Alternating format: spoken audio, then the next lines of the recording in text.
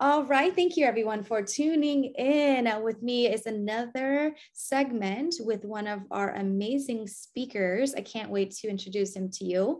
He has more than two decades of experience as a corporate leader. In addition to that, he is also an author, a public speaker, and a business mentor, helping entrepreneurs establish and digitalize their businesses. His missions is to help thousands of entrepreneurs shape and and operate online businesses as part of of their portfolio career or as their main occupation. So, with me today, I'm super excited to be talking about how to start businesses together with Mr. Shahram Maralani. Welcome, Shahram, to the show. Thank you so much for being here with us today. Thank you. Thank you for having me. Yes, and I'm really excited to. I know you have been in, in this space for about 20 years, right? Two decades. Can you please tell us? Let's start with your story. Like, what inspired you to do what you do today? Yeah, uh, sure. Uh, actually, I work as I, uh, as you mentioned, in the corporate world in different industries, primarily in uh, the industry of uh, assurance, which is about testing, certification, inspection. And uh, I have been uh, through different roles. Actually, I have been having business build, business development, uh, operation and management responsibilities, uh, different angles of the business from business processes and systems to managing uh, customer relations uh, and also to managing teams of various sizes.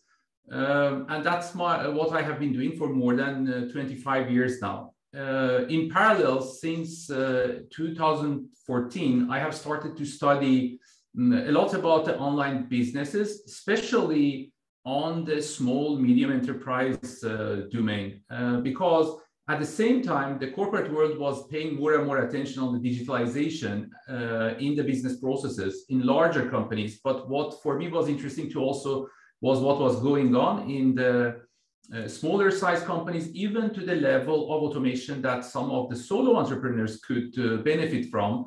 Mm-hmm. And uh, those studies uh, continues up until today. Then uh, to, that's why I help also entrepreneurs in their early stages when they are doing ideation of new businesses or when they are starting to build businesses and also with designing the business processes and automations that smaller businesses need for sure in order to shape and thrive. Um, early days of uh, corona pandemic i uh, of course we were home then uh, it was also for me an opportunity to put part of that uh, knowledge into my first book which i published uh, in order to help people who are in the very early stages understand what are the possibilities given what the technology and the business models that are known to some people quite well, but not to everybody, uh, makes it possible. Mm-hmm. That's amazing. So, what should we, I guess, look out for? Let's say, because you looks like you have worked with different size businesses. For us small business owners, what do we need to put in place? Like you said, in terms of automations or how to set up systems for for our operation. Yeah.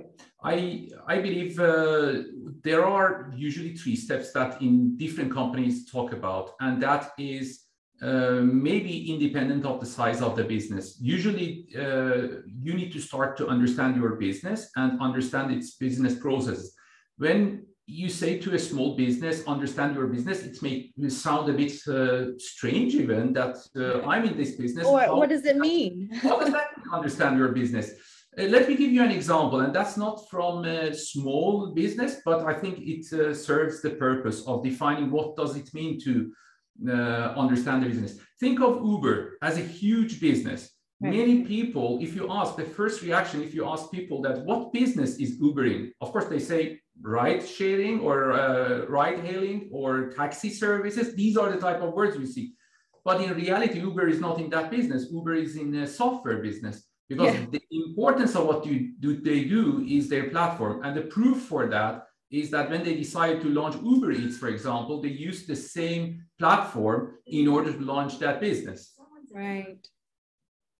Yeah, that's really interesting because sometimes when you, I'm thinking on a small business level, just on the products and services but we're not really looking at the infrastructure of it or like how how it's being delivered. In the sense you're talking about and correct me if i'm wrong is uber it's de- it's their delivery it's their platform that people are actually using and taking advantage of. It's not the actual product of the ride or like getting takeout right as a product.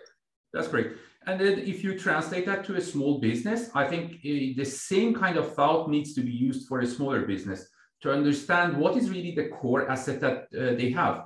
Uh, you see more and more companies start to look into taking a different part of the value creation that they are in and perhaps outsource part of what they used to do as core part of their business. This could be an example of understanding the business, but also trying to find new ways in order to be even uh, more efficient or create new revenue streams or new type of customers and ecosystem that they are working in. Yeah, no, I love that you said that because what's really interesting when you say that evolve is or new business is for us, for the longest time since the inception of our company, I mean, with my background and everything has always been um, consulting and, and business strategy. But what with what has evolved us into is more of really helping small business owners from the back end of things, meaning making sure that the automations are set up properly, the technology, or the software, whatever that they want to use in terms of their part of their delivery system is is being used or, or optimized. So more so is done for you services in addition to what used to be consulting, only consulting. And then they have to go out and, you know, vet a team that build the things or the systems for them. But now we actually support with having that done for you piece, both from the operational standpoint and also from a marketing standpoint. So um, yeah, no, it's I think it's really interesting to look at your um, someone's business and really say, do I understand it in that way and, and what it is that we're looking to deliver to the customer. So um, I think for, for this conversation is definitely for those who um, have been in business for, for a couple of years or looking to ready to scale to that next level. So next would be, you said that the first step is to understand your business. What's the second step and the third step? The second step is to think what could you improve and automate? yeah. Because when you understand your business, using the example that we were just discussing, that's when after you have decided this is really the core asset in my business and what we I should for sure keep as my IP or as really the core value generator, which is bringing the customers to me, then it is about automation. Imagine if a company like Uber would start to automate all sorts of maintenance services for their uh, taxis which they are, it's not theirs, but Im just imagine, instead of thinking that the key for them is to improve the software day by day, a small company also should, after the first step, think about which are the areas that can be improvement in business and what parts can be automated. Uh, and if I may continue to the third step, the third step now is to outsource what you cannot automate. Mm-hmm. If you change this sequence of these three steps and do it perhaps maybe forget the first or second one in that sequence, I think you miss a lot of opportunity for having a better understanding of what part of value you really belong to, you want to be in, you like to perform, you help your customers, but also the part that you can automate, improve and automate yourself. And I believe the last part, of course, then would be much more successful after those two steps when you find the areas that you need to outsource. Mm-hmm. And that's a little bit maybe the difficulty as the business grows because it, it's the right moment to decide when you want to outsource part of what you do for the business. Right. And and I love it because um, of course when we talk about the first piece is of course automation right and then when we're talking about in a business you have there are only three steps really we talk about is you either automate it you delegate it which is outsourcing it or the last piece is you el- eliminate it you throw it away because because if you right if you can't automate it and you can't delegate it perhaps it doesn't really mean or break the process because there's there's no need for it. Yep. So um, no, I, I, I love that. And so what's really interesting and what I really want to um, talk to you about, it's on the other side of yes, starting a business, maintaining the business, developing the business, scaling the business with automation and such. But what's interesting when you and I, you and I first met was your background, really understanding business so much to even prep it for the different seasons of the business. And what I want to specifically get into is obviously we just, I wouldn't say just getting out of the pandemic. It seems like we're still uh, I guess, um, operating and managing through the repercussion of the pandemic now looks like we're heading into another, um, I guess, economic economic challenged um, part of of the whole i guess uh, i want to say um, I, I, don't I, I, can't even think of the word right now but in terms of the new um, landscape when it comes to handling business so i know with your background can you talk a little bit about what to look out for in terms of the changes that are coming up and perhaps i don't know the talk about recession and etc like what are small businesses should be looking out for or should be thinking about right now? Yeah, I think it's a very good question and it's a very right moment to ask that question. Uh, I believe when I uh, wrote my first book, it was really the beginning of the COVID pandemic. If you right. have asked us a year before that, none of us would have believed that uh, what is really in front of us. Nobody had that idea. Even when that started in Asia, we sitting in U US or Europe, we were thinking like, oh, we have seen this, perhaps it's few months and it will go down.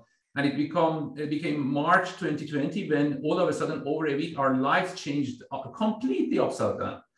Uh, same happens with the political scene you see now in the world. I mean, the, really the tensions around the world. I could not imagine that if you have asked me a year ago that something like that could have happened. Uh, for many years, I believe in the business schools, uh, in the business fora, and uh, in also smaller and larger organizations, we have always been hearing about, yeah, there will be difficult times. You need to prepare for difficult times. Now, last two, three years, we have been having episodes of difficulty hitting different types of the businesses quite frequently, I would say. And with what you see now happening in Europe and also the impact it has on the rest of the world, many of the reports i am studying many of these reports and you it's very difficult to find one is which is a little bit maybe giving a positive uh, uh, forecast for the coming three to five years.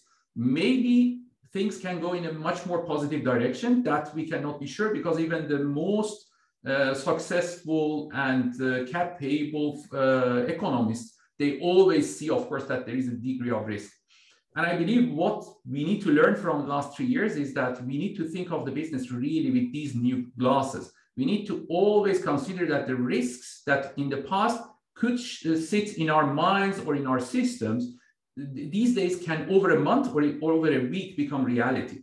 Now, what can a small business do? I think the number one is to be aware and to be really continuously understanding what is going around them if you are in a local business, physical business, serving your market around you, you, I think it is not enough anymore to just understand what is happening with your competitors in the next store, in the next street, in perhaps at the pro province or state level or at the country level. You need to really understand what is your business environment and how that industry is shaping. Because imagine even some very local businesses got disrupted because of uh, perhaps the pandemic or if even before that because of technology.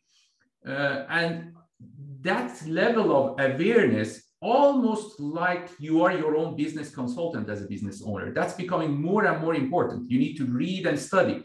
That may sound for a very traditional business uh, a big ask but i believe that's really core. And i think uh, for online businesses where they are operating on much wider geography usually in the whole country or even cross the borders, I think it's it's becoming even more important to because with online businesses, with all the opportunities they bring, but at the same time, when the risk happens, maybe their main revenue source sits in a country far, far away from them. And understanding what is going on in those markets, which is bringing to them their customers, is quite crucial.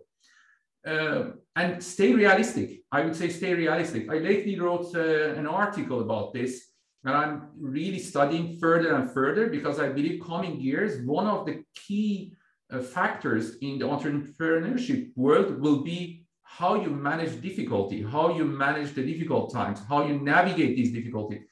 And I don't want to uh, sound negative at all, but the business world has shown us lately that we need to stay realistic and understand to the extreme of thinking when is really the right moment to close that business or quit that business or pivot at least. Mm-hmm. Uh, if you ask the startup ecosystems, the startups themselves, the business schools which are helping them, the facilitators which are helping the startups across US or other parts of the world, from the day one, startups have an exit strategy because a startup is not meant to be managed forever by the same people who are uh, starting it. I think that's quite a good uh, thought process that even an existing business should always have. Is the right moment for that business to do the next investment or maybe even prepare for a divestment down the line?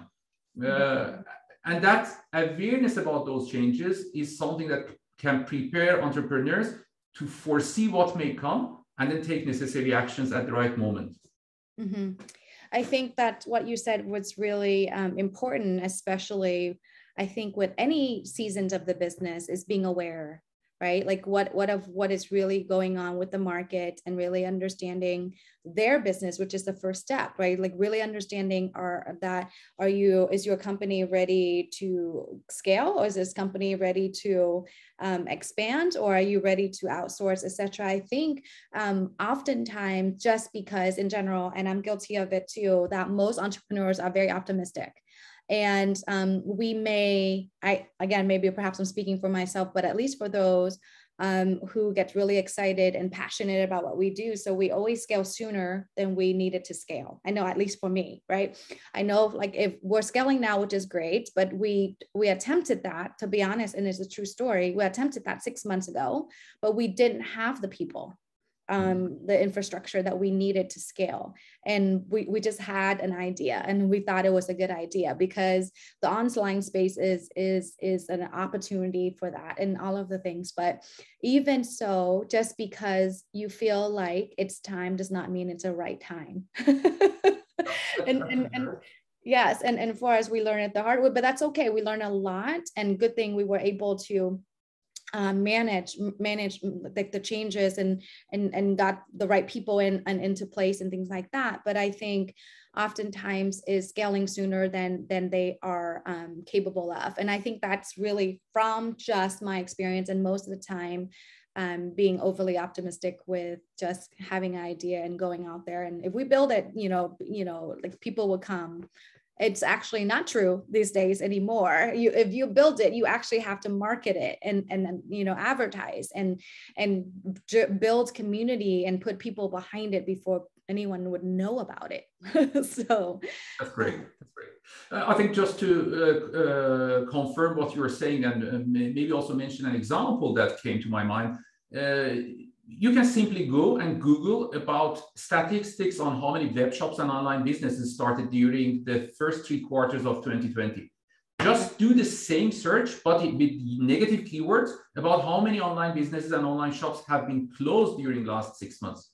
Right. Then you understand that how something can be really growing fast and really shrinking in the opportunities that are possible because of simply market capacity in different uh, climates.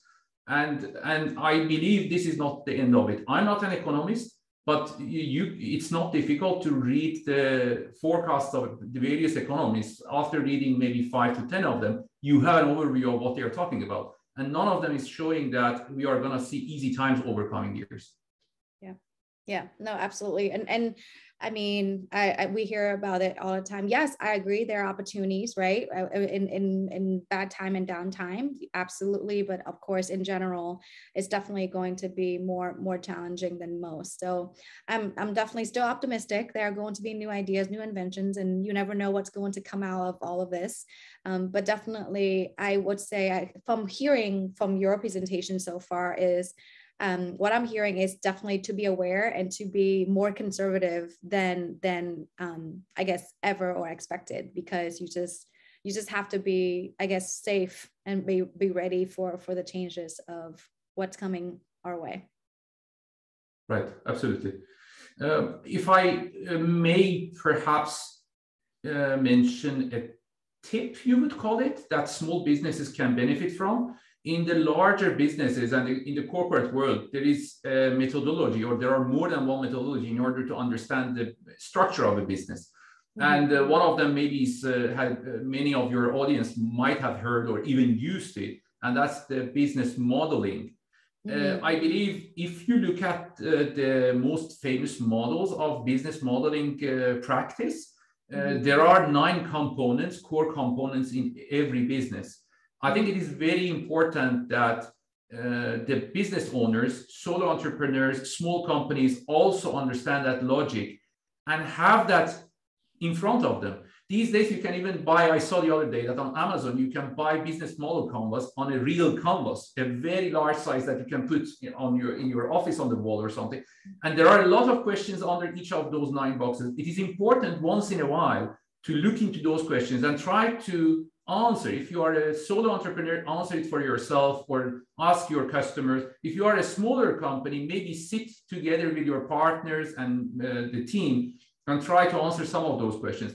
And the answer to some of these uh, difficulties or also opportunities in good times may lie in one of the other boxes among the nine than the one that you think a lot about it. Mm-hmm. And I think that capability is really understanding that and benefiting from it is really a powerful mean to go to the next level of entrepreneurship. Yes, no, I love that. Um, yes, I definitely have seen and used um, business model canvas for sure. Um, yeah, I mean, I think I heard about it a year into my business. I said, "What? What is?" No one taught me that. And surprisingly, I have a couple clients who have um, gotten MBAs and they learn about business model canvas after the M- get receiving the MBAs. that's, that's a little bit too late, I would say. Yes. yes. Awesome. Well, thank you so much for your time. I um, feel so, um, I want to say, knowledgeable now than uh, ever before. I think just great reminders for what we need to do um, as business owners and what we need to be aware of. Um, I'm really excited also, and thank you so much for ger- your generosity. Um, you're giving a free copy of the online business um, build blueprint um, and other content on your website at shahram.maralani.com. And of course, um, we'll have your linked uh, on here, but us, everyone, the, um, the first and last name is here, which is his website information without the G um, that's how you can locate uh, the free copy of the blueprint. So thank you so much for your generous gift. And um, thank you so much for your time and uh, con your con contribution with helping us small business owners um, stay uh, successful and uh, thriving. I appreciate it. Thank you. Thank you for having me. Yes, thank you very much.